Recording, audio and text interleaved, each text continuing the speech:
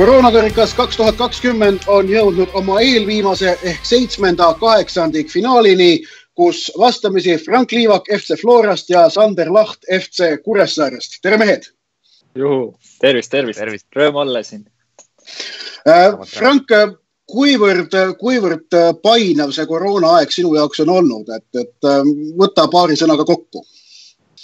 no eks ta mingil määral ikka on äh, painav, aga ma ütleks, et äh, ma olen sellise positiivse ellusuhtumisega, et ma olen ka selle koroonahaiguselt kõik need positiivsed küljed kaasa võtnud, et, et seda negatiivsust on praegu maailmas niigi palju, et, et tähtis on keskenduda sellele, mida saad teha koroona ajal ja, ja ennast arendada ja ja, ja jah, kasutada seda aega õigesti.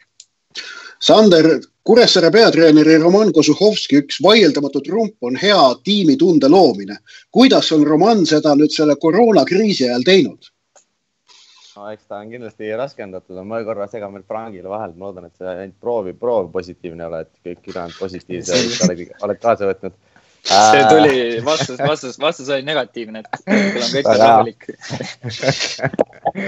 äh, eks ta on siin, räägib selles mõttes iga mehega eraldi kogu aeg, et äh, tiimina jah, on midagi rasket teha, et äh, me seda Zoom keskkonda nagu siin paljud teised, Liverpool ja Paide näiteks, kes on kasutanud, et meie seda Flora ei ole kasutanud. Flora ka. Ah, Flora ka, okei okay. No sellest ma ei olnud teadnud. nii suured klubid, et ma pidin ära mainima jah, seda küll, kolm suurt, väga suurt klubi, et äh, ja meie seda kasutanud ei ole, aga, aga seda ma usun, et seda lõbusam on jälle see kokkusaamine, kui me ükskord peaks saama. no loodame, et see, loodame kõik, et see juhtub päris varsti, aga, aga hakkame siis mänguga peale. kuus küsimust mõlemale. Frank, sina oled loosi järgi esimene vastaja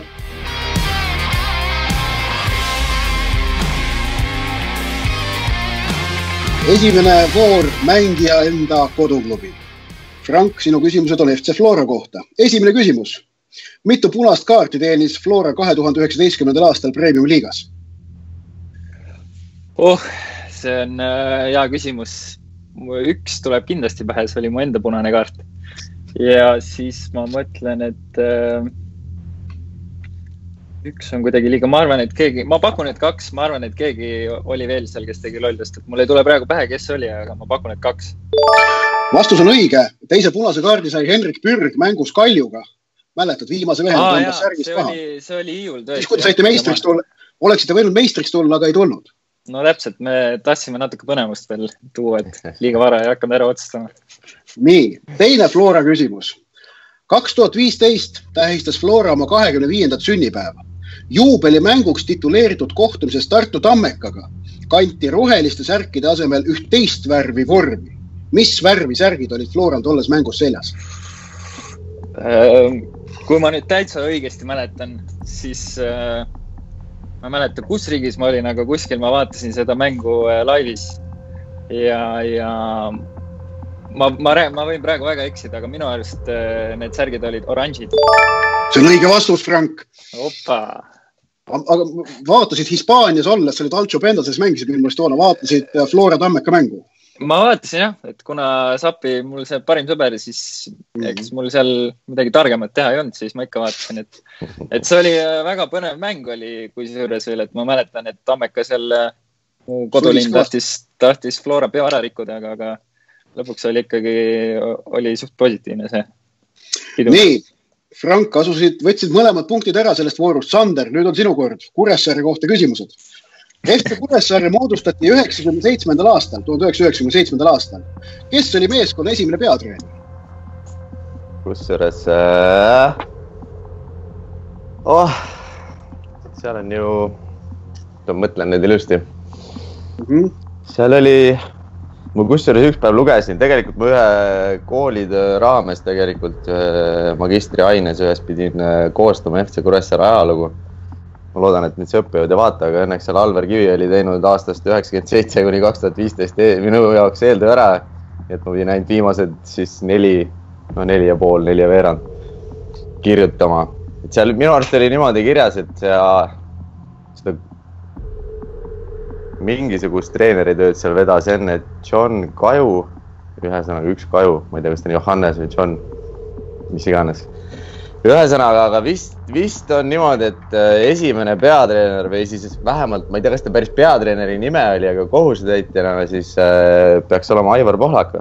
õige vastus, on õige vastus.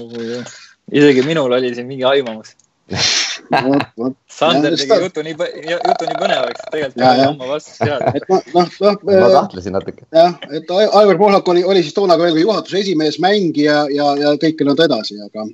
aga muu hulgas. jah, jah. nii, teine küsimus Kuressaare kohta. mis on FC Kuressaare läbi aegade parim koht Eesti kõrgliigas? no üheksas kindlasti ei ole, mis me nüüd kaks aastat oleme olnud kaheksas. nüüd on kas seitse või kaheksa, oleneb siin mingi aeg ju, kas see oli premium-liiga või Eesti meistriliiga kohta? Äh, kõik äh, kõrgliiga, ükskõik. kõik kõrgliiga jah? ükskõik kumma nime. aga seal oli mingi aeg oli kaheksa klubi ja siis Kure võis ju seitsmendaks jääda, ehk siis seitsmes, ma pakun seitsmes. see on õige vastus see ah. oli siis ainukene kord, kui Kure on jah, äh, esiseitsmesse murdunud, see oli kahe tuhandendal aastal, see oli Kuressaare esimene hooaeg kõrgliigas. siis saadi tõesti seitsmes koht ja, ja jäädi püsima. siis järgnesid need joojo aastad, kus ikka noh, jäädi viimaseks, kukuti välja, võideti ära, tõusti üles ja niimoodi.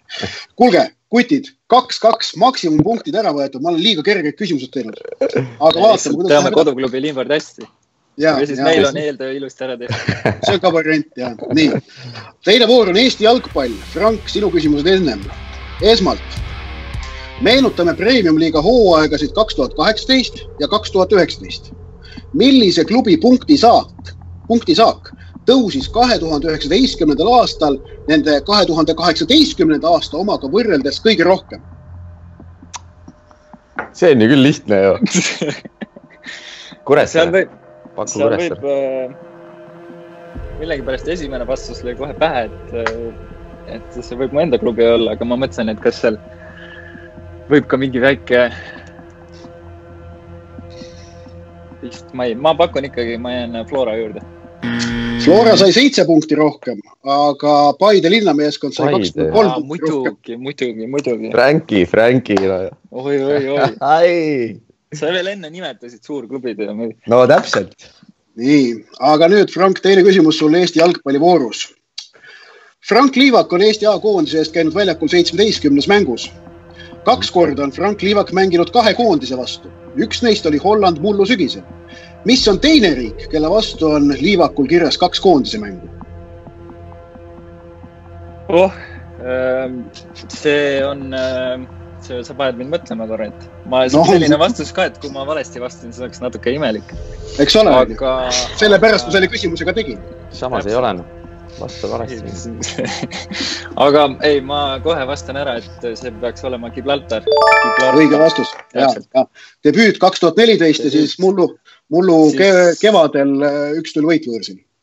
jah, väga tuuline mäng oli oli küll jah, mul oli, mul oli arvuti äh,, oli seal laua peal pressitribüünil ja tuul oli nii kõva, et ta tõstis arvuti laua pealt niimoodi õhku, et üks nurk arvutist oli ainult laua peal.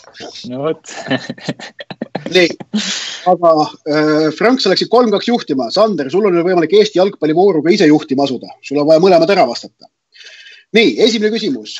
Kuressaare poolkaitsja Sander Seeman teenis kaks tuhat üheksateist premium-liigas kolmteist kollast kaarti, millega võitis vastava arvestuse Elari Valmas sai kaksteist kollast ja jagas teist kohta. kellega ta seda teist kohta jagas uh.? no see esimesed kaks olid ju lihtsad variandid selles mõttes. kui veel Viira mängiks, siis oleks kolmas koht ka teada, et see oleks Viira seal. võib-olla oleks isegi esimene. ja, aga see on siis premium, see on siis premium liiga. ja, ja, ja, ja ma kujutan ette. ma sain ka päris palju, aga ma ütlen kohe ära, et ma ei ole seal kolmes või ma ei jaga seda teist kohta. kes see on? sa said punase ma ise vist võtsin ühe kollase eelmine aasta. mina. Fair play, fair play. muidugi, ma ei jõua lähedale, et vigu teha uh, uh, kes meil sihuke vikat on? see peab olema ilmselt kuskilt alumise otsa satsist ikkagi. mingi lang äkki või? oot, oot, ma natuke mõtlen, oi, oh, Teko. ei, oot, oot, oot. mul mingi aimamus isegi on Grei-, Greida niveli ei võta, ma arvan. ei, meil on väga fair play sats. no ma panen Teko noh.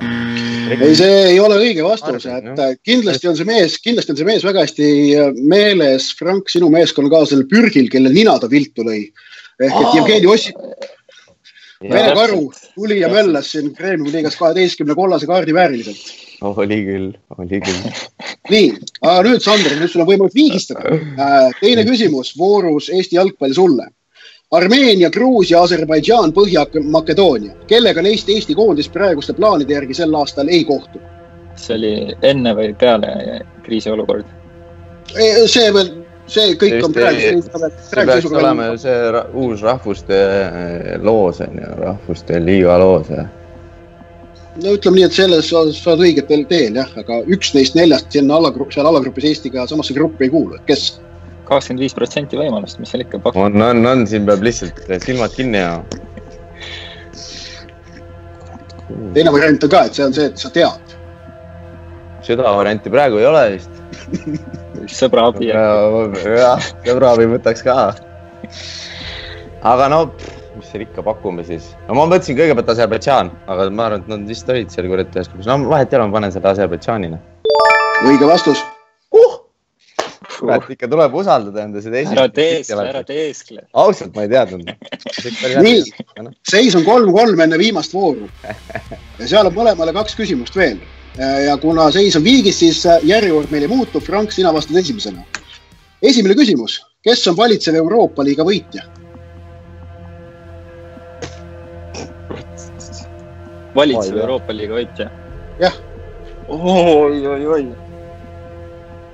liiga lihtsad küsimused. aju ei mõtle nagu nii pinna peal ma tänan joh, ei tea ma aitaks, kui ma oskaks, aga ma ka ei tea. päriselt ka ei tea mm? -mm. mul ei ole õrna väga. ei no, äh. midagi pakkuda oskaks selles mõttes. no paku Arsenal. ei, see, nad ei võida ammu, nad ei võida ammu enam midagi. nojah, aga noh, jah, seda, seda, seda seda teeks kõik, kui nad ei. aga ma ei tea, ma võin praegu väga valesti panna. aga äkki on Manchester United? ei ole, Chelsea on muidugi. võitis mulluses finaalis Arsenali neli-üks. muidugi, muidugi, muidugi, muidugi. finaal oli, finaal mängiti selles samas Aserbaidžaanis, kuhu Eesti koondis sügisel ei sõida. nii. see on küll häbi, häbi, häbi. nii, teine küsimus, Frank meistrite liigas ja siis selle eelkäijas meistrite karikasarjas ehk see Euroopa meistrite see noh, võistlus, mis iganes nimega yeah. ta on olnud. läbi aegade on kõige rohkem kohtumisi võitnud seal Madridi Real tal on kakssada kuuskümmend kaks võitu. FC Barcelona on selles pingereas saja kaheksakümne seitsme võiduga kolmas. milline klubi on kahesaja kahe võiduga teisel kohal? vist tean, aga ma ei ütle. ära ütle jah äh,. ma päris kindel ka ei ole, aga ma lähtun sellest tiitlite, tiitlitest ikkagi, et kuna kuna ma tean ühte klubi, millel on ka päris palju, siis ma pakun, et see on AC Milan äkki. ei ole, see on Müncheni Bayern. Ah, ma oleks, ma oleks ka Milani pakkunud. muidu, aga tubli olid.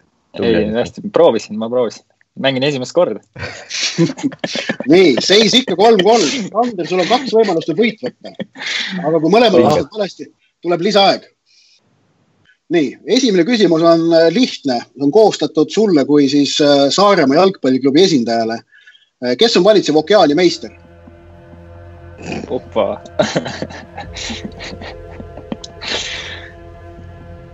Sander, ära jama, Sander, ära uh!. see on küll huvitav. Okeaania. see on selline päris huvitav geograafia küsimus. no, mis seal ikka, noh. pakume siis äh,. Äh, Uus-Meremaa. on nüüd vastus. ongi või? jah, nad kaks tuhat kuusteist, kaks tuhat kuusteist finaalis mängisid Paapua Uus-Guineaga null-null ja penaltitega võitsid. nii kaua praadisid juba, ma olin jumala kindel juba, et mul üks võimalus tuleb veel ja sa tegid nii. vastata ikka, mul on see paber on valmis. Neli-kolm on veel ees, Sander, aga saad siis äh, proovida, noh, veel ka siis suuremat marginaali võtta, et saad kahe punktiga võita. saame hävitada selle Flora? jah. nii äh,. palliplats, palliplatsil on raske. küsimus on meistrite liiga kohta Madridi Real, Madridi Real on kolmeteistkordne Euroopa meister. Nad on pika puuga selle arvestuse liider Liverpool võitis mullu kuuendat korda, mis tõstis nad antud arvestuses kolmandaks. milline klubi hoiab selles pingereas seitsme tiitliga teist kohta oh,? see on muidugi häbiväärne, et see Madridi Real seal ees on. üldse no. Barcelonal ei olegi enam punti varsti. seal on ka keerulised ajad praegu jah ütleme nii siis. aga küll nad välja tulevad aga siin on, ai, äkki on Juventus või Barca, AC Milan, ajaks, siin on variante nii palju. jah, vali nüüd üks välja. aga raudselt ühtegi õiget ei ole. sa aga... oled võitnud nagunii. vahet ei ole jah, võitu üle ju kohut ei mõisteta. nagu siit, nagu me teame. vähemalt äh, mitte enne veerandfinaali. jah. Barca ma jätan välja praegu, nendel vist nii palju ei ole ma arvan, et, äh, et see on, äh, paneme Juventus siis. ei, Juventusel on ainult kaks meistrite liiga tiitlit, aga Milanil on tõesti seitse, see, kellest me. Milan oleks jah. Franki puhul pakkusite seal jah ja.. nii, aga neli-kolm võit sulle, Sander. milline, Frank, Frank, millest, milline küsimus sul kõige rohkem kripeldama jääb? no eks ikka Euroopa liiga, see oli päris, päris kurb oli, et see ei tulnud nagu pähe okay.. võib-olla oli tõesti liiga lihtne küsimus Sander, mis sa arvad, mis su trump kokkuvõttes oli ikkagi siis? ma ei oskagi öelda, kas siin üldse oli mingi trump ja lihtsalt jopas. seekord jopas on sul mingi kindel valdkond ka, mis sa nüüd arvad, et enne veerandfinaali tuleks järele aidata? Oh. üldteadmised. Neid on ilmselt nii palju, et neid ei jõua kõiki järgi vaadata eks peab, peab lihtsalt lootma, et küsimused tulevad sobivad. ja vastane ka muidugi, ja vastane ka muidugi. ja see loosimine seisab meil veel ees, aga aitäh, Frank, aitäh, Sander. selle mängu eest, Sander, neli-kolm võit sulle. kohtume loodetavasti õige pea juba jalgpalliväljakutel. loodame sama. loodame